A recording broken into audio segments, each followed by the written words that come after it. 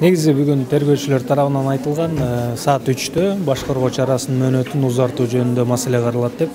Ошондуктан биз ошол социалдык баракчама мисалы мен жазгам фейсбук социалдык баракчама саат үчтө болот деп.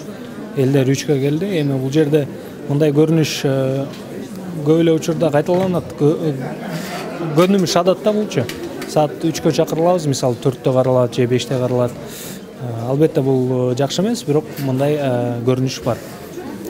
Негизи бүгүн ошол баш коргоочу арасынын мөөнөтүн узартуу маселеси каралат. Сот эки тараптуу угуп анан өзү чечим кабыл алыш керек. Тогузунчу апрелге чейин узартайлы деп жатышат. Себеби тергөөнүн мөөнөтүн тогузунчу апрелге чейин узартышкан буга чейин. Эми судья өзү чечет азырынча так айтуу кыйын кандай чечимге келет деп.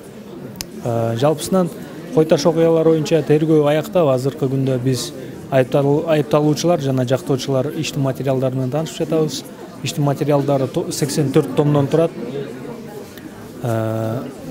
башында бизде ошол таанышууга бөлүнгөн убакыт чектелген болчу бизге аз убакыт беришкен бирок биз кийин даттануу менен кайрылып кээ бирки жактоочулар ошол даттануубуз канааттандырылып мөөнөттү узартышты эми дагы мөөнөтүбүз бар таанышканга